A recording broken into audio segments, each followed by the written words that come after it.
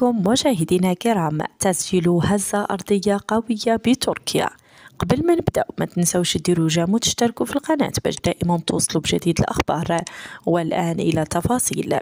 شهدت ولاية كهرمان مرعش جنوبي تركيا يوم السبت الموافق للسابع سبتمبر. هزة أرضية قوية بلغت قوتها خمس درجات على مقياس ريشتر وقد أصدرت إدارة الكوارث والطوارئ التركية أفاد بيانا رسميا عبر منصة إكس.